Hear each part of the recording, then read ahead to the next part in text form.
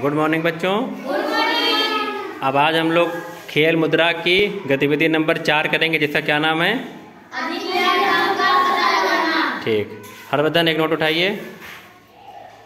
एक नोट हम उठा लें। आदर्श हर्षवर्धन ने कौन सी नोट उठाई? नोट करिए। हमने कौन सी उठाई?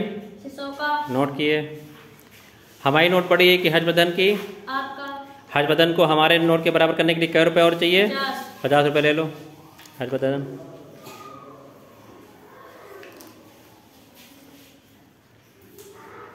हो गए पचास? कुल कै रुपये हो गए? सौ। सौ रुपये हमारे पास भी सौ रुपये हो गए बराबर ठीक। मुकेश एक नोट उठाओ। एक हम उठा लें। रिंकेश मुकेश ने कौन सा नोट लिया? नोट करो। हमने कौन सा लिया? पचास का। पचास का। हमारा नोट बड़ा है कि मुकेश का बड़ा है? आप। हमारा बड़ा है। मुकेश को हमारे नोट के बराबर करने के लिए क्या रुपए चाहिए? तीस। ले लो मुकेश तीस रुपये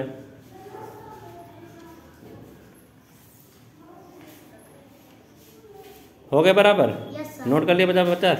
ठीक। आदित्य एक नोट उठाओ।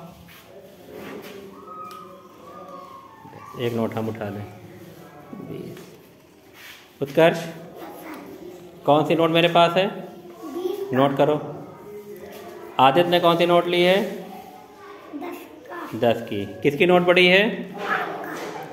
आदित्य को हमारे बराबर करने के लिए क्या रुपये और चाहिए? दस रुपये ले लो।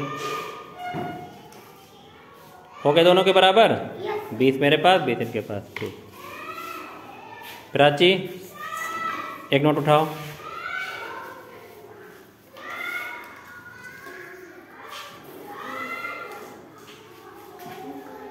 एक हम उठा लें।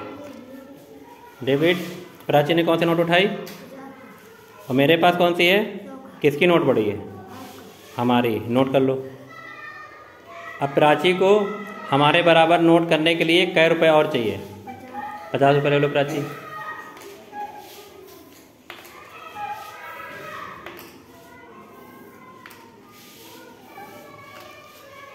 हो गए सौ?